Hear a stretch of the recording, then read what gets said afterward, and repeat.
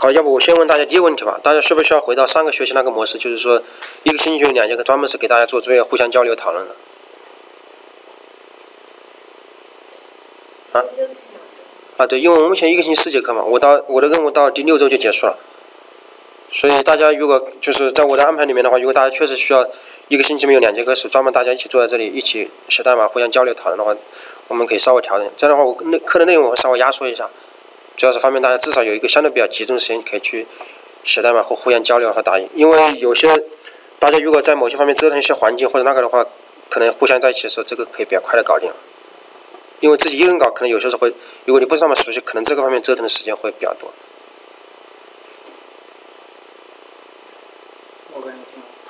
大家怎么一个说法？其他的表达太没有，这样我知道你们想怎么干。行吧，那就从这个星期三开始，星星期开始就这么调整了，就是呃，我们就每个星期三都会给大家安排是那个专门做那个编程练习的作业。这个时间的话，大家可以比较自由啊，就是说我目前给大家安排的作业，其实是根据大家情况来去选择。呃，有比较简单的，相对比较简，有比较适中的，也有比较有一定挑战的，大家可以自由的选择。呃，你可以在里面选择比较合适你情况那些一些练习。呃，基本上每一个练习，我相对来说都是经过一些挑选，认为它比较有代表性，能够体体现就是我们当前学习的这个数据结构的一些一些那个特点。尽可能我不会找一些纯粹只是为了挖空心思让你头疼这么一些东西。它一般来说都有某种应用场景，确保就是我们不是在搞一些就是回执四种写法这种搞法。行吧，那我们就从这个星期三开始，那么三到五的时候大家就。把家伙拿过来，这边写写代码，然后有问题我们可以当堂一起学习交流讨论。然后如果大家有需要的话，到时候我们可以把前面的作业给大家讲一讲。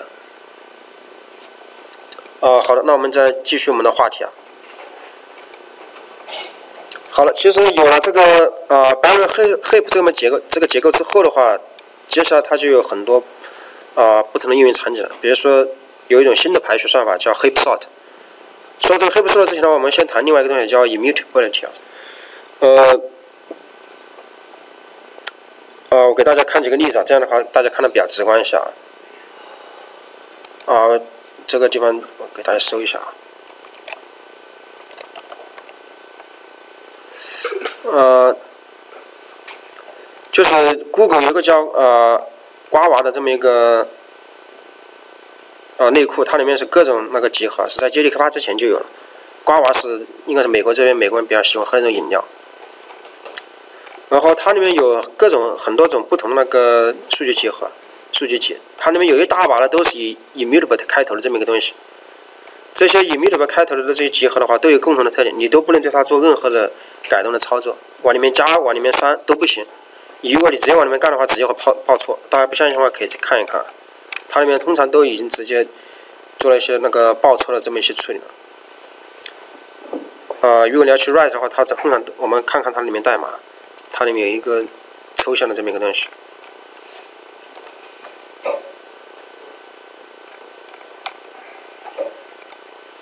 大家可以看到，它里面喊凡你要对它做 remove 或者 insert 的话，它直接抛异常，就是 unsupported operation exception。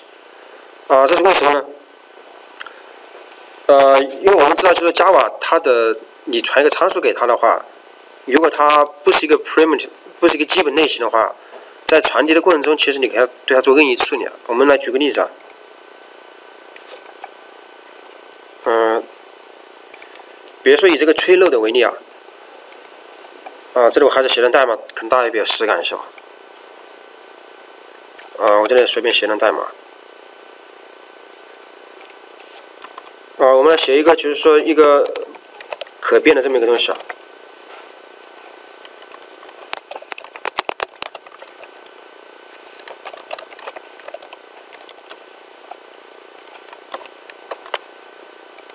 比如说，你有这么一个方法，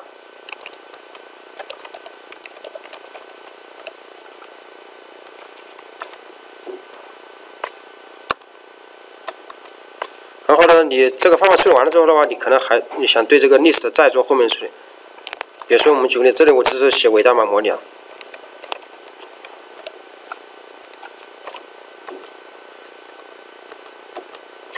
好的，我们来举个例子啊。方法调研完了之后的话你心中对这个历史的期待是个什么样子？你期待它变化还是不变？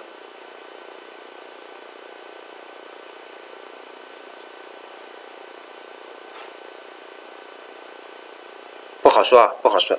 就是你可能一般要亲自视察一下看看这个玩意是不是在这个一连串的调研过程中是不是里面发生了某些变化可能那个加了东西删了东西或者改了东西。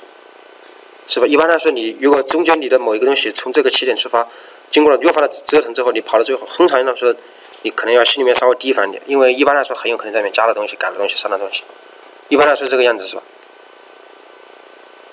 那么这个样子造成的后果。在某一些情况之下，就是不是说这个不可以啊，大家千万不要误解啊。它造成的后果是你任何时候你给别人，你把一个参数给别人某一个方法去调，你都要提醒，不能说提醒调查，你都要事后再复查一下，看看它是不是发生了变化，是吧？那么如果你所有地方都得发生要复查的话，变化的话，这个其实你的程序里面要，无论是程序本身还是人本身的话，你都需要花些精力来特别处理这个参数，经过一些处理之后，是不是发生了变化？呃，这个其实对人的心智负担是比较大的，所以呢，它有一种机制，就是说，它确保一个参数呢，你无论经过什么处理，你到了最后它一定是不变的。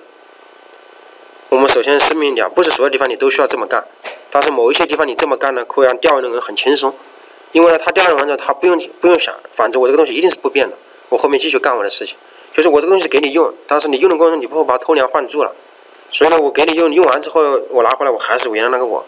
我这个心里非常踏实，因为我们都有这个约定，所以的话，因为这个原因的话，就是说，呃，在 Google 挂号里面，它有一大把的 immutable connection，它就是想告诉双方，这玩意是不能改的，我给你用就是给你用，你就不要动心思去改它了，一改的话就会报错。这个样子的话，双方都有这个约定之后的话，有些人就好办了。这个时候，无论你中间做过经过了多么复杂的九曲十八弯的调用，反正我一概不理，因为我知道这玩意一定不会变。那么，如果他有这种约定的话，对于就是写代码的双方的话，他在某些情况下其实还是挺有帮助的，因为他可以省略掉中间的大把大把的检查、调试、跟踪的这个过程。反正我知道那个开始就是开始，结束就是它一定不变。当然，代价也是比较大。那么，通常的搞法，一般的代价就是说，你那个 list 的话，通常要拷贝。我们来给大家看几个其他的例子，比如说，呃，阿帕奇它有一个叫，啊，这个地方没有。啊，有一个叫啊，我给大家找另外一个例子。啊，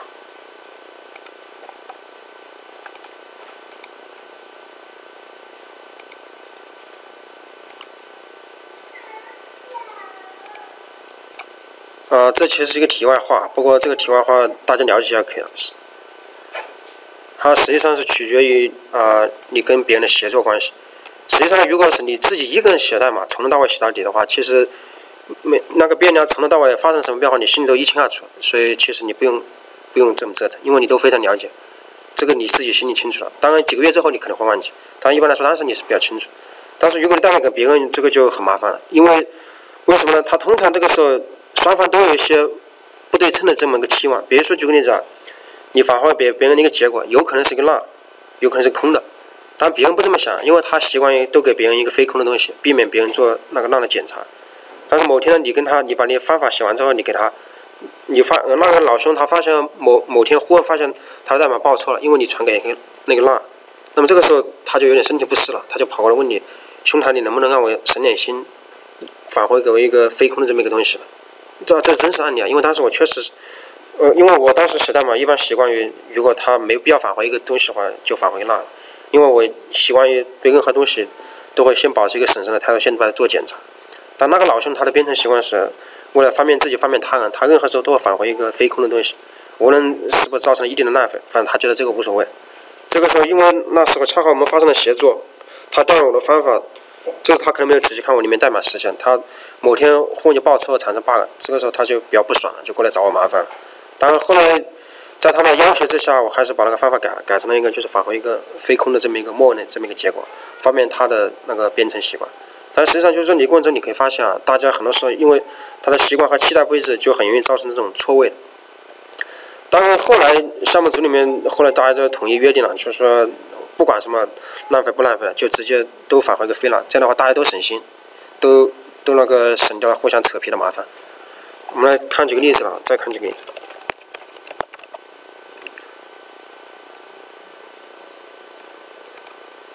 呃，比如说我们以这个啊，有一个叫 connection util，它在二百七，能不能找一个例子啊？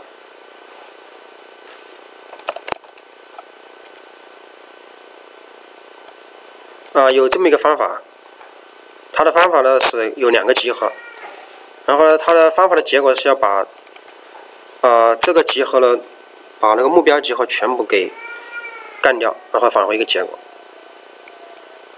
那么很有可能的话，你会直接把这个 connection 呢把全干掉，然后返回一个原始的 connection，这样的话它发生了变化。但是在它的实现里面呢，它任何时候。它这个地方呢，呃，它的实现里面早些时候不这样，它现在的实现里面，它任何时候都一定不会把这两个东西去发生变化，所以你会发现它的前面都刻意加上了 final，不能给它重新复制，并且呢，在它的代码里面，它也会不会把它 class 进行一些处理。我们来举个例子啊，就是你这个地方代码，如果你想简单的处理的话，你其实直接把 class remove all 就可以了，它有这个方法的。然后如果大家不相信的话，你可以去看一下，它有其实是直接有这个 remove all 的方法，就是你可以把两个集合直接做操作，这样的话它里面。包含在另外一个计划就全部干掉了。当然了，它自己发生了变化，但是你会发现呢，它这里的这个方法处理就是它不给别人惊喜啊。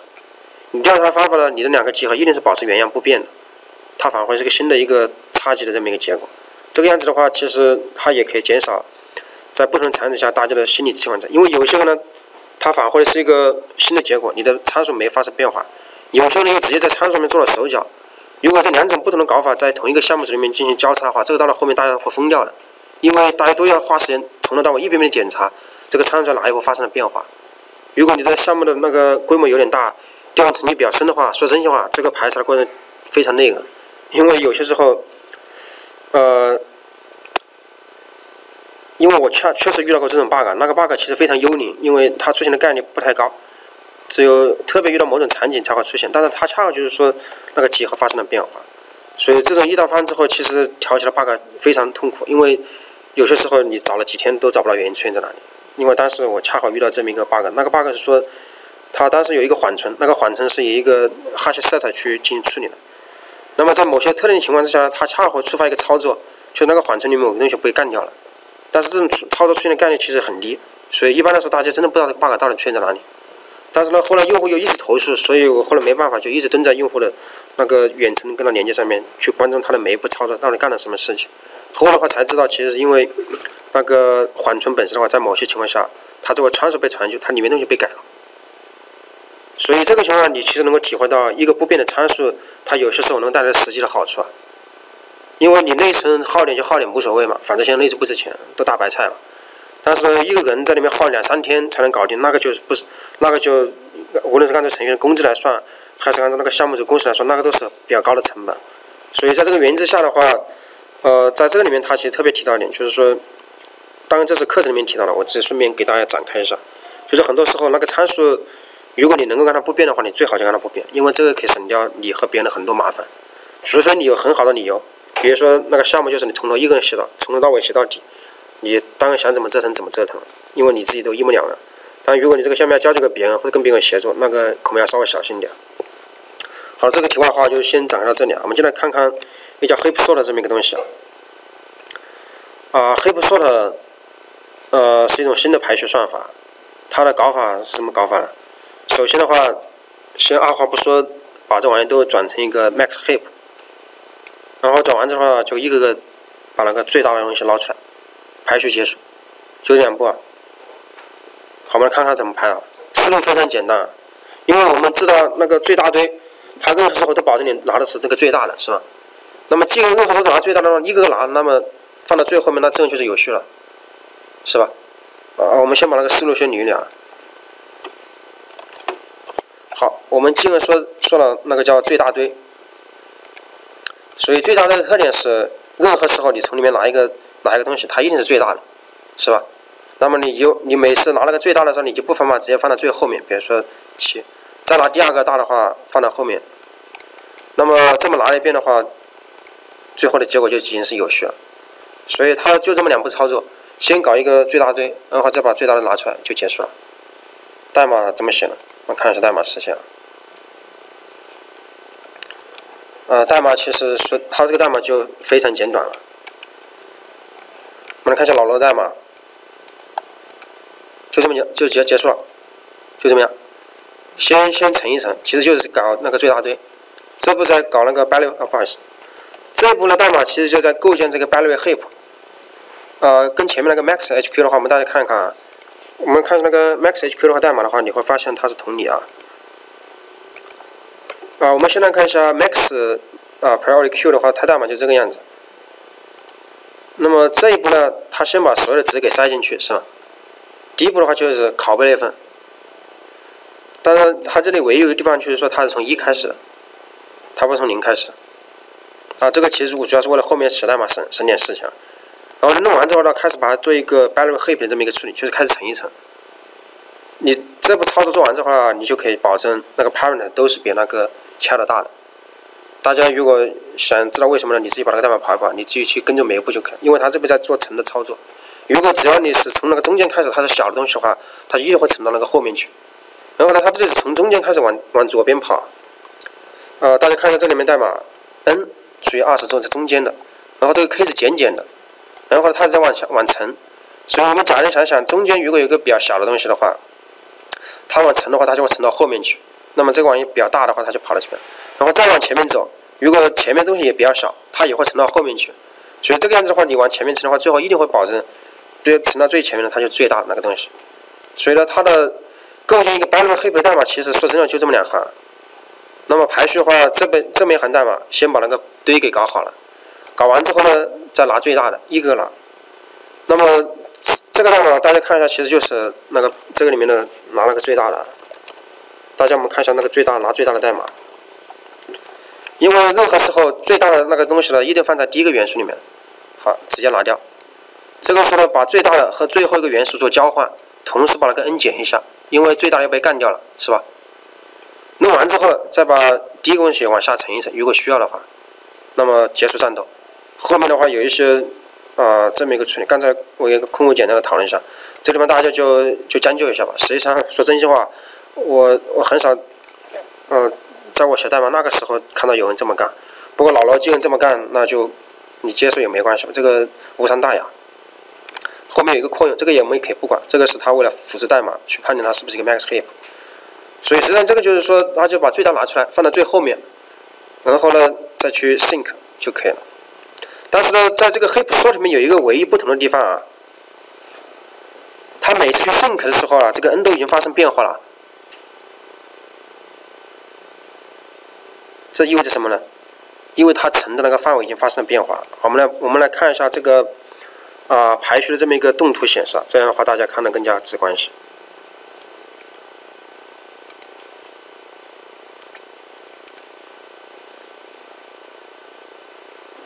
呃，我们来看一下堆排序啊，还任何时候请大家务必警觉，这是一个数组啊。好，我们来看堆排序。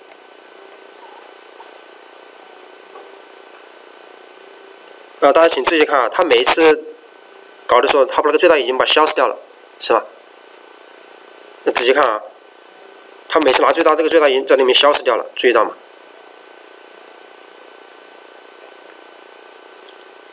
是吧？它这个消失掉的原因是什么呢？啊，对，编程一个是放在后面，另外的话，你你之后下沉的范围也缩小了。比如说呢，我们来看啊，呃，假如说呢，比如说你把七已经放在最后面了，你之后就说 sink 的时候，就只需要在这个范围里去 sink 就可以了，是吧？那比如说把六放好了，那你你只需要在这个范围里面，所以呢，你你后面在 sink 那个区间其实在越来越缩小。那么它这个动图里面，为了为了让你方便直观的了解了，它就把这个最大玩意直接干掉了，就不显示出来了，就意味着后面它去乘的时候呢，其实乘的范围就比较小。我们再来一次啊。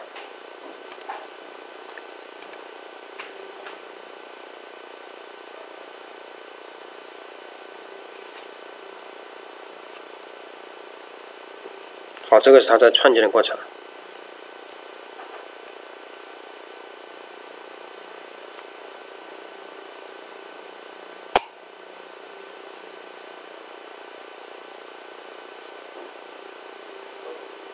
好，这个时候我们来仔细看一下排序啊。我再解释一下，就是说，它把最大拿出来之后，那么它之后要去 sync 的那个区间就变小了，因为那个最大的就已经不参与了，它已经确保是最大的放在后面，就在那养老去了，就是不用大家不用操心它了。反正他说我一定是最大的，大家不用管我，你们搞定你自己事情就行。好，找到最大的，然后这个时候交换开始下沉，九十已经不在了，这个时候继续交换下沉。好，这个时候二十六隐居了，继续交换。好，二十五，这个时候要跑路了。好，继续，这个时候十九，十九要消失了。这个时候呢，那么它 sync 的范围其实要不断的缩小。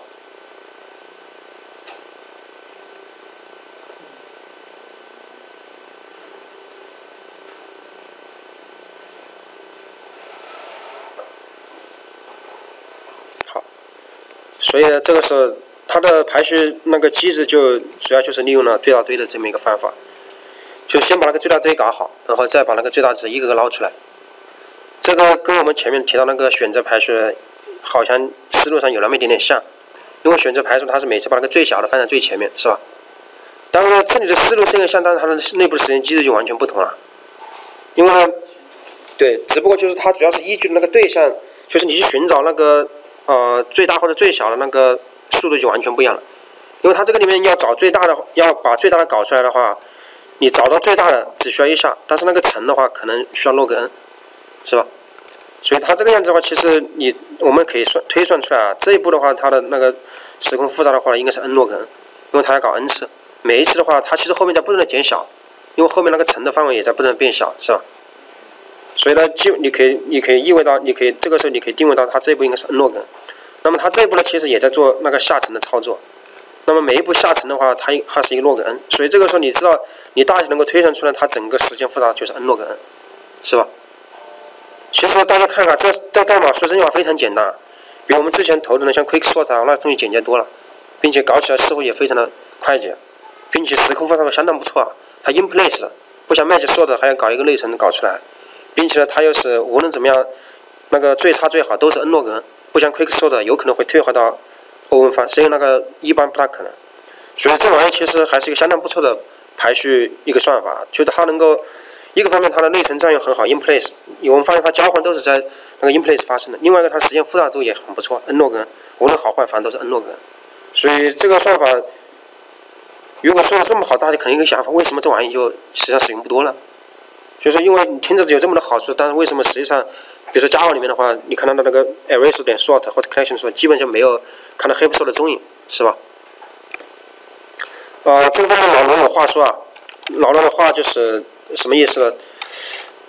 我们来看一下老罗是怎么说的啊。呃，它里面有一些简单的关于它的一些那个分析啊，我们这里快速给大家看一下啊。啊，其他代码是真的是真的是挺少的，说真心话。它那个排序，只要你把它那个最大堆的原理搞清楚了，其实就是往里面一个拿，拿完了就结束了。哦，这个地方，哦，不好意思，这个地方我还得重新说一下。啊，这个我得解释一下。啊，这玩意确实要制成路啊，先不说垃圾回收不垃圾回收。呃，因为它这个是要把它干掉，因为你交换之后那玩意还在。那大家想一想，就说你他最开始这步是做交换，交换就是两个东西都还在，是吧？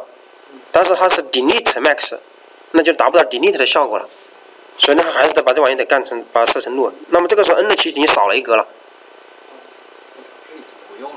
啊不，啊我知道，它这个时候关键点是什么呢？因为它需要把那个那个那个元素，因为它的它那个语义是要把它干掉，把它删掉。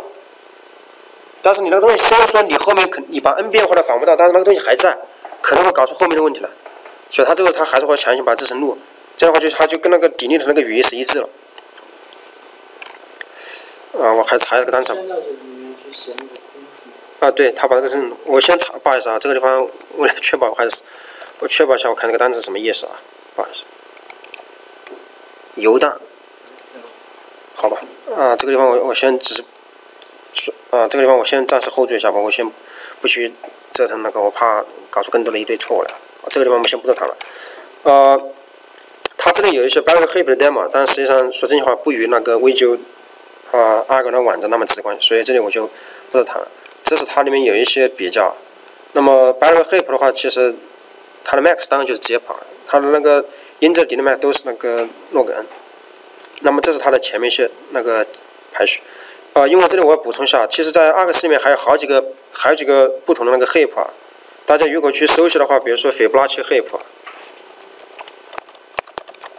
它这里很多个那个 PQ 啊，大家如果去搜一下，它这里有一打一打的，呃，大家看代码的话，它这里只要后面是以 PQ 结束的话，还有很多，还有什么 index、斐波那契 PQ 等等这么一些。当然，这个代码不是老罗写的，因为他自己觉得没必要写，就是直接把别人代码搞过来了。原因是因为他后面提到过，这玩意看上去很美，听上去很好，但实际上没什么使用价值，所以他就没写代码，把别人代码直接搞过来了。呃，我们看一下后面那个 balance sort 它的介绍啊。其实关于那个 balance sort，我前面跟已经跟大家说了，它的思路说真心话就是这么两步，只要你把这两步搞完了就结束了。所以它的那个实现其实是非常的、非常的快捷。它的核心代码就是前面那个 think，还有后面。呃，这里有老罗的关于那个就是 heap sort 它的一些那个数学层面的一些分析，大家想仔细看的话可以去看一下。因为它这里的就是说它是 in place sorting algorithm，并且呢，无论是最差的情况的话，它还是能够保证到一个 n o 个 n 的这么一个一个程度。所以这个其实是非常难得。当然，它这里的。说为什么使用不多呢？它这里有两个，一个就是说它那个 inner loop long run quick sort，还有 make poor use of cache memory，还有 not stable。它其实也那个排序也不是 stable 的，因为它会涉及到很长距离的这么一个交换。呃，这个地方说真心话，我没有想的太深啊，因为有有些地方每一个细节方面我可能展现不是那么多。这个地方大家可以下去再去细查一下。不过长话短说，就是说实际上。h i p s o 它虽然有一些看起来很多的好处，但实际上它真的用在排序的场景不多。它主要的使用其实不是一般都不是在排序的场景，它主要的使用场景就是说我们最开始提那些问题，还有后面某一些特别怪的问题，它那个地方使用它倒是认识非常方便啊。呃，这地方其实如果说把 Heap sort 也加入到这个排序的这么一个家族里面的话，你其实可以看到了，它其实说真心话，这个还是挺好的。除了 stable 这几项都占到了。所以它其实，在排序里面还是有一席之地的。好的，那么时间呃不多了，我还是把最开始那个话题给大家再展开一下。那个话题要更难一些，大家如果能理解到要是多少？就刚我们前面提到的关于那个 Tank w o r 里面的那个 Event Driven Simulation。嗯，我们先回过头来，我们再直接回过头看看老罗他是怎么处理这个问题的。啊，我这里先把全全干掉。呃，现在我们假说有一个有一个队列，有这么一个 Priority Queue。它的排序呢是按照事件发生的时间排列的，这是第一个啊关键点。我们举个例子啊，比如说这有一个坦克，这里有一个坦克，这里有一个坦克，下面有一堵墙。首先第一步的话，我们可以做一个计算和预测。假如啊，不，我还是这个可能画的不太好，把我先把擦掉一下。啊，我这里把问题搞简化了。假如说这辆坦克，我们经过计算的话，我们可以知道啊，这辆坦克它在下一个，比如说五十毫秒之后，它就会与这个进行相相撞，是吗？如果它下面还有一辆坦克，那么我们知道它经过一百毫秒之后，它会与这辆，如果这辆坦克它在一百毫秒的时候，它就要跑到外面去了，那么它也会有可能会与它相撞。那么经过两百毫秒之后，这辆坦克有可能会撞到墙，是吗？啊，我们先推理，先推算一下。这辆坦克，假如说这个时间点，那么它下面有两辆坦克一堵墙，那么这个时间我们首先可以预测出来。呃，我们把每一个都孤立开来，它有可能经过五十毫秒之后会撞上这辆坦克，也有可能在经过一百毫秒之后撞上这辆坦克，因为我们知道中间可能有变数，有可能你在开的过程中这辆坦克跑掉了，是吧？那么呢也有可能这辆坦克呢，它在跑到下面这辆它都跑跑路了。它撞到墙了，所以这个时候它就会出现有三个可能的 event。那么这三个 event，它按照它发生的时间先后进行排序的话，那么这个应该是第一位的，这个是第二位，这是第三位，是吧？那么我们现在把这个 event 放到一个 priority queue 里面去，放到 priority queue 里的目的是什么呢？目的是。我们任何时候，我们去处理这个系统里面发生的事件的时候，我们都可以去处优先处理那个有可能最早发生的，但是它未必一定会发生啊。那么，假如说我们把这个 event 当前这个时间的 event 放到一个 Q 里面去了，放完之后，这个时候我们马上开始去模拟它是不是真的发生了。那么你怎么去模拟它是不是真的发生了呢？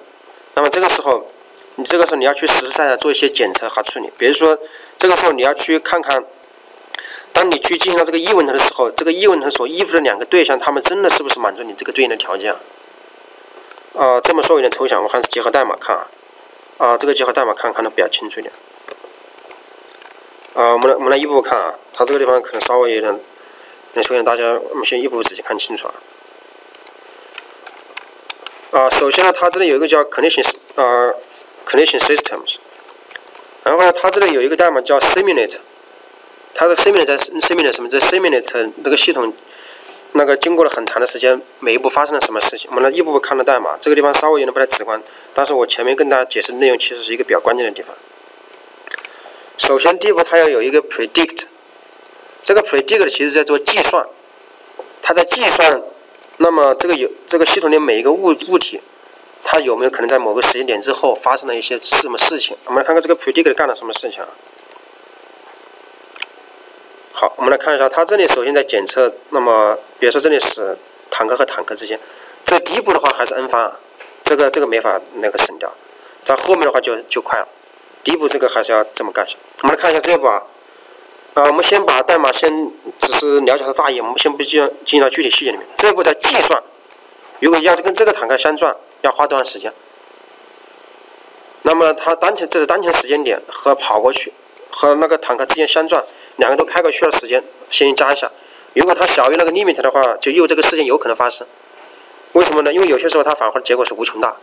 比如说你那个坦克那个墙是垂直的，它沿着水平方向开，那再怎么开也不会开转上去，是吧？它返回时间就是个无穷大。好，我们简单的看一下这个里面，它有时候会返回一个 infinite，就是无穷大。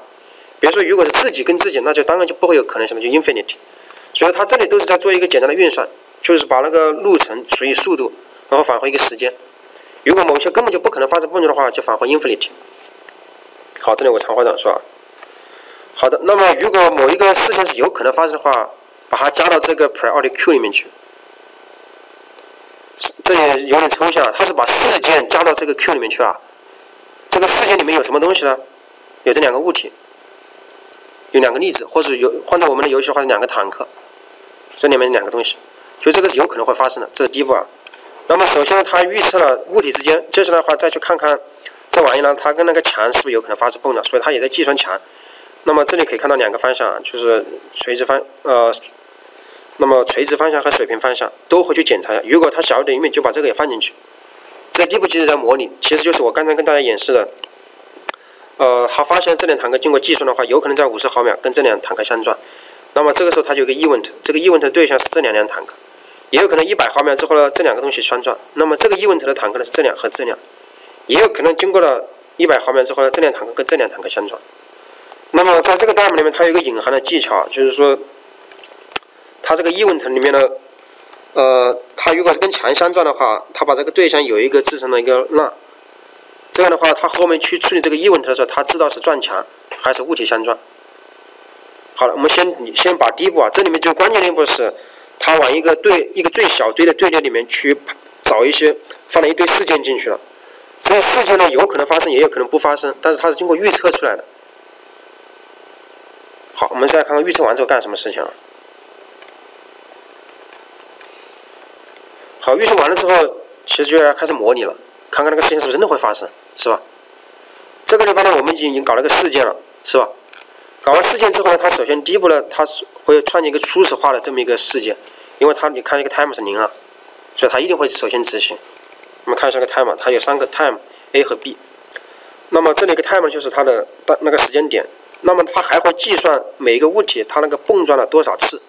为什么会这玩意呢？它是用来后面去检查的。我举个例子啊，如果这个坦克跟这个坦克已经发生碰撞了，那么我们说这个坦克跟这个坦克的碰撞。在下个还会发生吗？这个很难说，但是基本上不大会发生了，因为这个坦克它这个时候它的碰撞次数已经发生变化了，它这个是已经把阻拦拦拦阻住了，是吧？所以呢，它实际上就是每一个事件它是有它有依赖关系，就是说，假如说你这个事件其实并没有发生的话，那么我们可以想象到，那么这个事件是极有可能发生的，是吧？所以它每次那个事件去模拟的时候，它都要去更新一下这个事件双方的一些状态。好，我们来再再往下面看啊。好，这个时候呢，它放到一个队列里面去了，就是一个 priority q 最小堆。好，这个时候呢，就开始把那个事件给一个个拿出来了。其实按照时间排序了，就是按照时间的先后排序了。首先把第一个事件拿出来，那么这个他会去检查这个事件是不是已经无效了。什么叫无效了？其实他这里检查的方案就比较简单，去检查你那个 count 是不是在事件发生之前那个 count。如果已经发生变化了，那就说明它其实已经之前跟其他的物体也好或者墙也好，已经发生过一些蹦撞了。大家你体会一下这里啊，因为这里有两个关键点啊。它首先记录在事件的原始点的时候那个 count A。我们举个例子啊，比如说在这在它你在记录这个事件的时候呢，A 和 B，它之前可能发生过一些碰撞，记过数。比如说它之前发生过五次碰撞，它发生过六次碰撞。那么如果你去模拟事件 A 的时候，你发现他们两个碰撞速度变化了，那么意味着什么事情？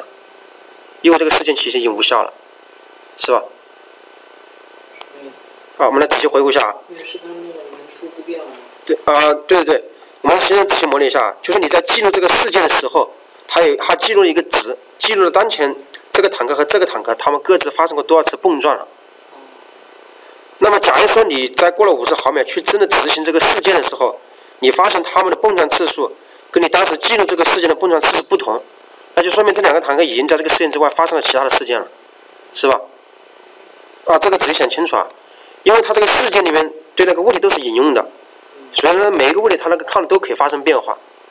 那也就是说，当你去执执行这个事件的时候，如果你发现这里面的物体的碰撞次数发生了变化，也有这个事件已经无效了，它已经被别人占先了。也就是他没那个他还没有去碰下面这个坦克的时候，他对已经被其他坦克里面所碰了。对。然后他那数字里面就发生变化。对。然后这时候他再去判断是不是要对去撞下面的。是的，是的。他这个时候呢，他哦，他首先做一个事情就是说，如果这个事件已经无效了，那么就略过去了。嗯，不要同时，同时碰撞，在这个游戏里面的话，同时碰撞的话，我想一想，不过同时碰撞没有关系，因为什么呢？因为他，你如果假如说你同时碰撞的话，就是说它的时间点是同样的，那么他们在那个堆里面出现的顺序先后其实已经无所谓了。那么至于在游戏里面他是被谁先碰到的话，这个可能它最终游戏的返回就一定是它肯定至少跟某一个物体发生了碰撞，因为它的最小堆就是说，如果你两个都是同样的，那么它值同样的话，就是你把前面一个取出来之后，后面一个应该还在后面，它两个一定是在一起的。因为你最小堆的它是按照那个时间先后顺序排的，如果你两个时间是一致的话，它两个时间一定是挨在一起的。所以如果说这个时候你和前面一个物体发生了碰撞，那么这个时候呢，因为它按照它的碰撞的处理的话，别说如果是坦克大战，那么它的位置就不会发生变化了。如果它的位置不会发生变化，那么后面一个事件的话，那个物体如果它的位它也不会发生变化，那么它其实最终还是满足了它要达到这个效果。为什么？因为这个是呃，如果是以坦克大战为的话，大家要仔细回顾一下。比如说，啊，我们来看这么一个场景，啊，比如说中间有辆坦克，那么左边有两辆坦克，碰一个说就是他们这个时候都可能按照同时时间去跑过去，是吧？啊，如果好，我们如果说他们他们都按照同时时间跑过去，跑跑到这里来了，那么首先第一点呢，它如果是因为他们的时间时间是同样的，所以他们在 Q 里面出现的顺序的话，无论是谁先谁后，其实都无关紧要，因为他都会把两个按照顺序先拿出来。假如说他首先拿了左边那个。那么这个时候呢，它会更新他们的那个碰撞的次数，是吧？在我们坦克大战游戏里面的话，它处理流程是，呃，这个时间点如果他们已经发生了碰撞，那么这个时候它就不会再去处理他们那个位置的变化了，他们就会呢保留在当前那个位置。好的，那么这个时候呢，因为它下次的选，它下次 Q 里面它会把这个时间给拿出来，那么这个时候因为它发生它已经发生了变化，所以这个时候它其实不会再去处理那个碰撞时间本身，它那个 S Y 仍然会保持那个原样。所以这个样子的话，它其实还是一定程度上达到它原先那个效果本身。呃，这个地方大家如果呃需要考察的话，呃，大家可以把那个代码里面你放几个比较简单的例子啊。我之前调啊跑这个代码的时候，我是你可以把那个值变小点，比如说你看这里面只有两个或者三个，那个跑起来比较方便点。所以真心话，那个蹦床检测调试是很痛苦的事情。这个呃这本书的作者他其实就特别花了一章讲解你怎么去调试那个。debug 那个碰撞检测，因为这玩意其实很难调。因为大家如果看一下我上面打印的打印那个记录的话，呃，它其实每一个瞬间，每一个瞬间大家可以看一下，我给大家跑一下。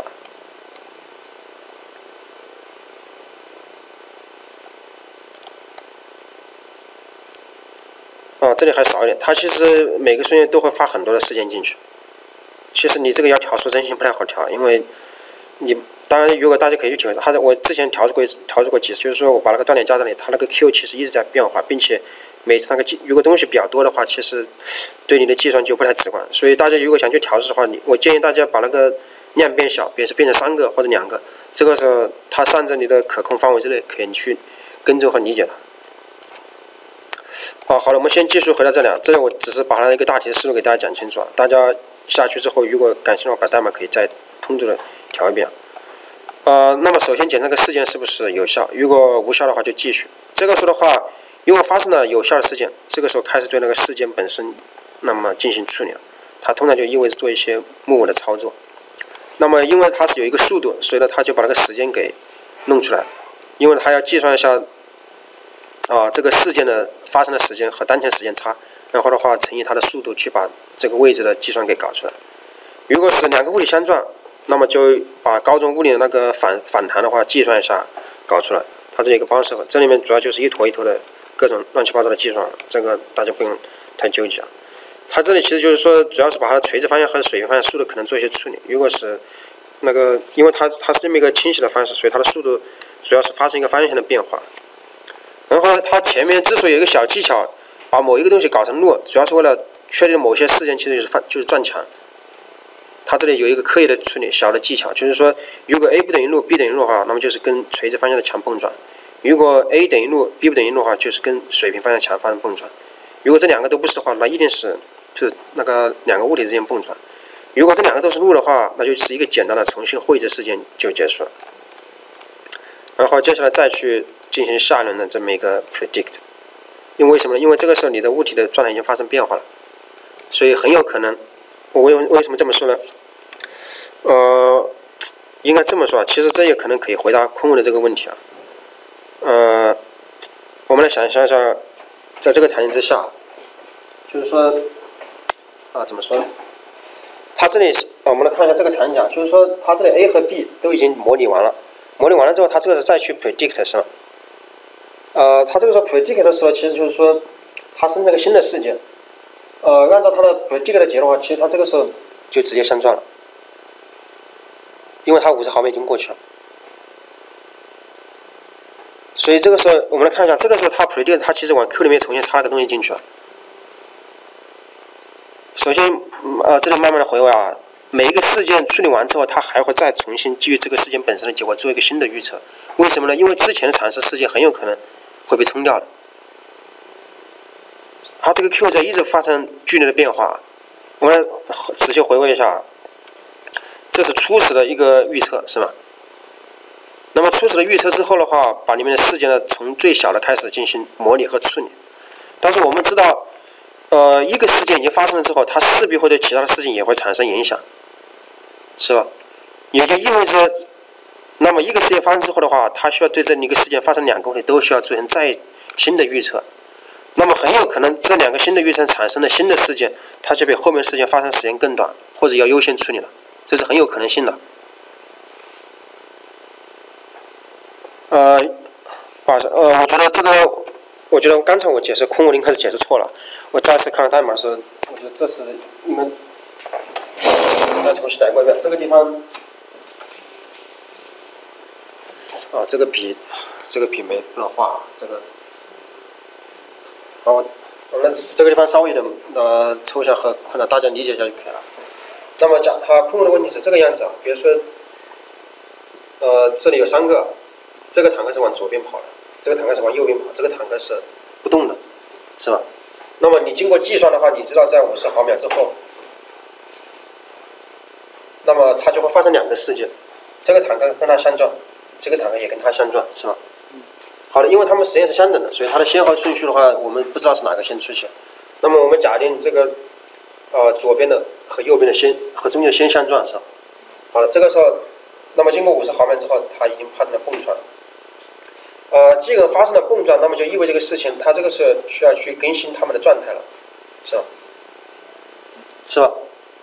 呃，这个时候它更新完状态，他们的那个次数都已经被更新了，并且与此同时。他要再去计算一下，他们下一次的那个 predict 的那个那个那个东西，是吧？那么如果你这个时候去 predict 他们两个的话，其实这个时候你就会发现，他这个时候他就会跟他发生碰撞，并它的时间间隔是零毫秒，因为如果是以五十毫秒为间隔的话，是吧？好的，因为它把这个零毫秒的时间也掺到这个 Q 里面去了。那么大家可以想想，下次他从那个最小堆里面去拿的时候，他拿的是这个时间，而不是原先那个五十毫秒的时间，因为那个五十毫秒的时间，它的时间是比这个更长的，是吧？但是执行这一步啊，这一步是比较关键，就是说他这个时候他又插了新的时间进去了，这个时候他已经把那个最小堆里面那个值已经更新过了，所以这个时候呢，其实以他为例的话，他去预测的时候，他其实可以预测到这个事情发生之后，它零毫秒就会马上跟它发生蹦传。那么有两现在有两个 event，以它为例的话。它零毫秒之后会跟右边的发生碰撞，原先那个 event 还存在，就是五十毫秒之后它会跟它发生碰撞。那么两相比较，这个零是在前面的，所以它优会它会优先去模拟这个事件本身。这个时候它们两个相撞，那么这两个都保持不动。那么再去执行这个五十毫秒的时候呢，因为它前面已经执行过了，所以它就不会再执行。啊，这个里面的那个隐藏的那个细节比较多，这个大家只要大概能够理解它的大意就可以了，因为它这里主要是。它这个核心关键点是，我先把这个思路再跟大家从头到尾捋一遍啊。它首先是用那个抽象的事件队列，那么这个事件是按它发生的时间先后顺序进行排列的。那么你怎么知道哪些事情会发生？你可以先模拟和预测一下。那你怎么去模拟和预测？你可以通过那个路程除以速度，可以大概推算出来，是吧？至少有相对值你可以知道。那么这个样子的话，你可以把里面的所有的事件呢，都统一的从。按照它时间发生的先后去模拟它，这也是为什么它的代码叫 simulate。那么你去模拟事件的时候呢，你必须要考虑到这些事件互相都是有影响的，所以很有可能你某个事件在去模拟它的时候，它已经是不不能再模拟了，因为它的某些物体可能已经发生了碰撞，发生了其他的变化，那个事件本身它已经无效了。那么每一次事件发生模拟之后的话，那么这两个物体它都要去进行下轮的预测，这样的话它才会对整个系统进行更新。那么一旦发生预测之后的话，你下次的系统里面再去拿的话，它还是会拿了一个最小时间间隔的事件去模拟它的。那么它这是个循环反复的过程，就是说它首先有一个初始的那个 predict 的事件模拟，然后呢再往里面插入事件。这第一个事件的话一定会执行，因为它是一个 r e j o 就是零，就是开始把那个物体先给绘制出来。后面的话再开始对事件进行那个处理和模拟。这里的关键点是它是一个最小堆，所以的话它每次去里面拿的时候，它一定可以拿到。那个最短会发生的、最快会发生的事情，这是它的那个模拟的关键点，就是它一定会拿到那个，就是发生时间最短的这么一个事情事件。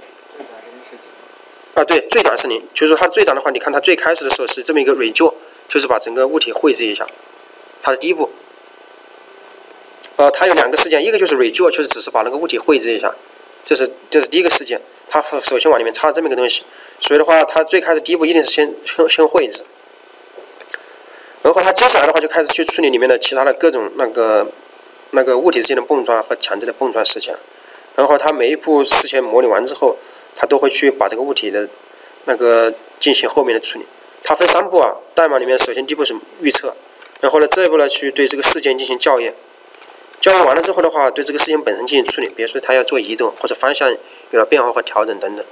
然后呢，这一步处理完了之后呢，呃，还需要去进行下轮的预测，因为这个时候这两个发已经发生了有效事件的物体的话，他们的下一步的行动可能会对其他事情发生影响，就是他们的时间的那个先后有可能会发生变化。这样的话，某一些原来的要去预定被执行的事件，有可能就会冲掉了。呃，这个有，如果大家觉得这个。这里比较难以理解的话，大家可以去想一下，银行里面的有一个叫，呃，银行的那个啊排队系统，其实也是跟这个有有相关性的。不过那个我一时很难把那个应用从头到尾给大家说清楚，所以我暂时只能以这个作为案例，跟大家稍微说明一下。呃，它的大体的那个大体的一个流程是这么一个思路啊，这里的关键点是在哪里呢？就是说它实际上真正有效减少的就是一些无谓的检测。如果我们跟我们原先的最早的就是原始的坦克大战的版本去做对比的话，因为坦克大战它任何时候每走一步，它都跟所有物体做检测，是吧？那么那那个其实我们从现在的角度，它确实是没必要的，因为你有些时间点你知道它跟某些东西八个人打不着，它根本就不可能发生碰撞，你那种检测其实是没有意义的。所以呢，它这里的好处在于，它只检测那些有可能会，它只处理那些有可能会发生的那些碰撞。呃，它其你看啊，它这里呢是其实一直在检测。它首先这里有一步，这一步的话应该是 n 方，因为它这个 predict 里面呢要做一个初始化的操作，是吧？它把每个东西都去做一个处理。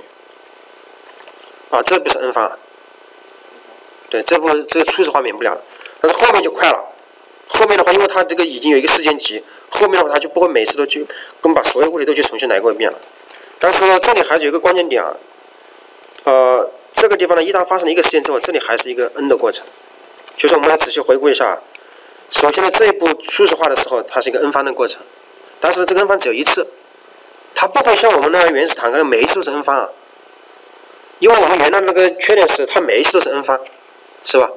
你每一次去都是把系统里面所有的游戏的物体都搞出来，看看跟当时那个坦克是不是发生重叠，那个就有点受不了了，是吧？但是你看它这里啊，它这个地方首先它它这个初始化是一个 n 方的过程，但是后面呢，它这里只会对那些有效发生的事件去进行处理。我们举个例子啊，它前面对是它首先第一步它限定了那个限限定了那个事件模拟的次数。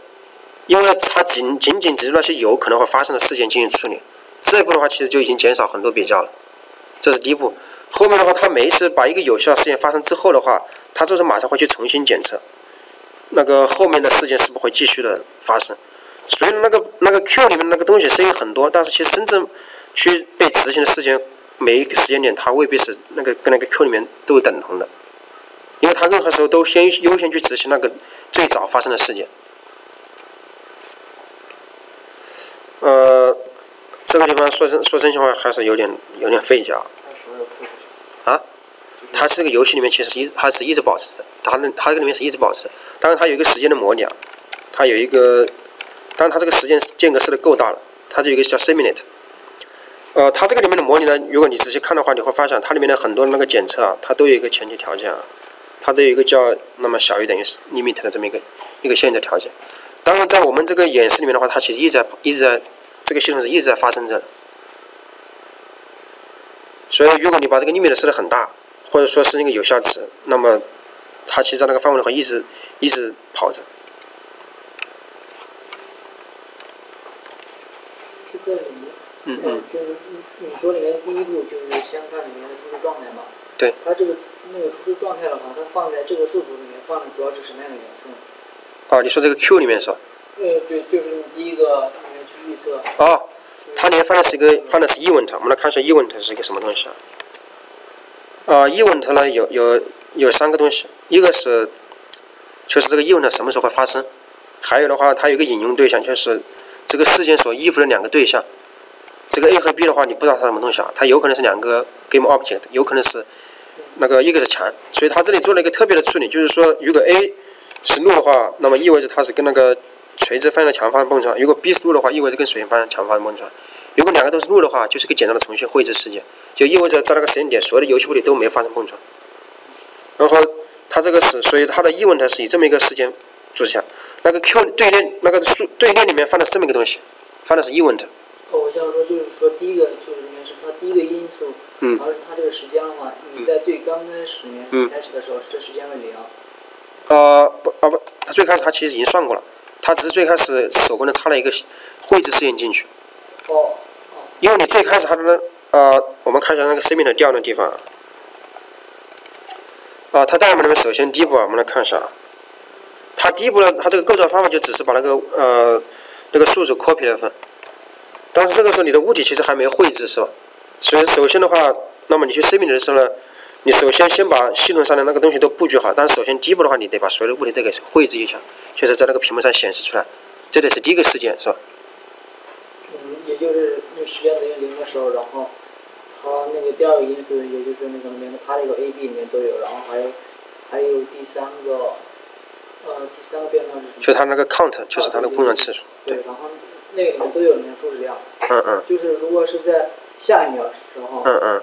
然后如果是有碰，就是那个是有碰撞的两个元素 A 和 B 的话，他们会去相应里面去改变这样一些，对就里面去改变里面 count A 和 B。嗯嗯。然后，那剩下这个时间不就相相当于是这里面所有的，就是那个所有小丘里面时间不都是里面往上涨？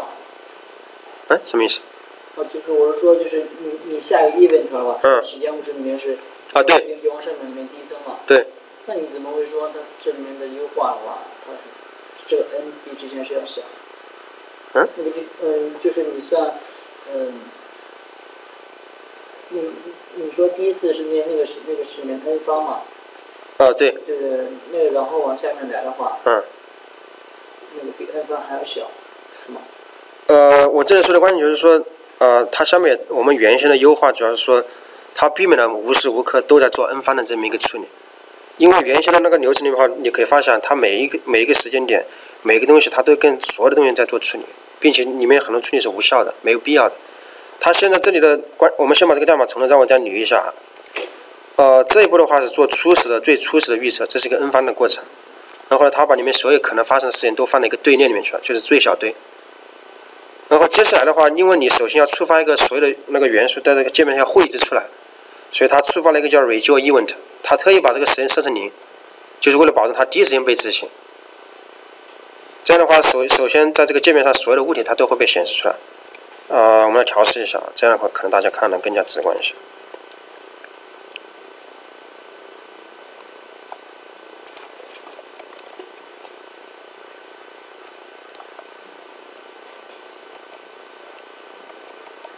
啊，我直接跑到这里来。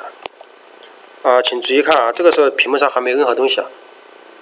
它这个，但是它首先已经做了个预测，因为它里面所有的东西，它首先随机赋了个值。好，我们继续往一步往下面跑啊。这个时候我在屏幕上打一下，它这个时候系统里面已经有十六个英文词了。这十六个英文词第一个一定是那个 rejoin 的 event，是吧？因为它零，后面 event 就是在某个时间点可能会发生的那个碰撞。我们又往下面跑啊。好，那么这一步发生了一个 event，它一定就是我们刚才所说那个东西，零和零和落是吗？就是那个 rejoin 的。好，我们往下面跑。其实它里面因为这两玩意都是路啊，所以这个地方它执行的那个流程跟前面是一样的。我们写，啊，这个我直接跑过去了，因为它两个都是路，所以它其实会执行一个 rejoin，其实就重新绘制了。好，这个时候完成了第一步，就是把那个游戏名那个物体给绘制出来了。就是首先它啊，首先因为它的程序流程里面，首先你确保要第一步东西得要全部绘制出来，是吧？所以它首先会有这么一个问题。那么这里的 event 呢，因为它 A 和 B 都是 No，所以这两个 predict 其实不会对队列产生新的东西进去。因为这个 A 你看一下啊，它这个 A 啊，不好意思，这个 A 是 No。然后呢，B 的话也是那，所以它其实这两个方法的话，你进去之后你就发现它其实不会做任何处理，它不会产生新的事件。好，我们往下面走啊。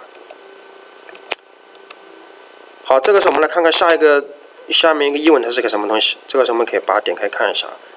这么呢，这里还是一个二点零的时候，也是个没没时间的东西，因为它首先这个子弹啊不，这个桌球要推过去，它需要点时间，所以这个什么呢，继续跑。啊，我把这里我加个断点，我把它加个断点，就是说 A 和 B 不是 n 啊，因为大家调试的时候，你可以这里加一个断点，就是说它的 condition 是 A 不等于 n 或者，那么这个时候它会触发这个条件之后才到。好，我们继续跑一下，我把这些线都去掉啊。好，这个时候呢，它已经跑到这里来了，我们来看一下啊，哎。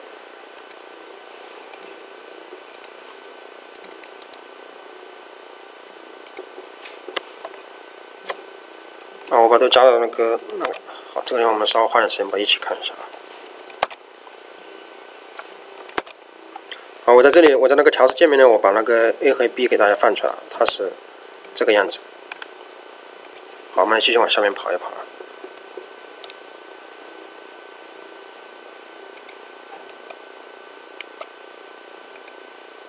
好，请大家注意一下啊，就是呃。我们到目前为止呢，它是十六个实验，但是你会发现，它这个地方把 A 和 B predict 时候，又加了六个实验进去了，看到？就是这一步它又发生了变化。我们来再往下面一步跑，啊但是这个时候呢，它还没有触发一个 rejoin 的 event，所以它这个时候还需要，那接下来我们还要看看它里面有没有 rejoin，因为它每一步它首先执行事件，然后事件里面还要去做。我们这个时候我们不妨把这个 Q，把那个观察一下，看看这个是什么样子啊。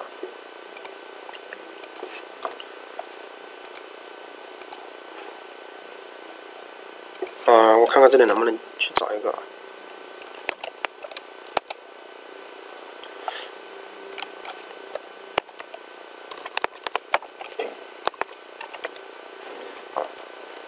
行，我先我先往这里走啊，因为它实际上是需要啊、执行到某一个 rejo 的这么一个译文在里面去。我先我们现在进入调整，我们一步一步跑。呃，你会注意到它这里刚才有一个呃挖里的 mode，我们先跑。它实际上应该要走到某一步，这个地方要去 rejo 的，因为这个时候它这个地方其实是要在 rejo 之前要把其他事情都得给处理掉了。我这个地方我加个断点，我把这边我先，因为我们要等到那个 rejo 那个事件发生的时候，我们来看一下。好，完了继续。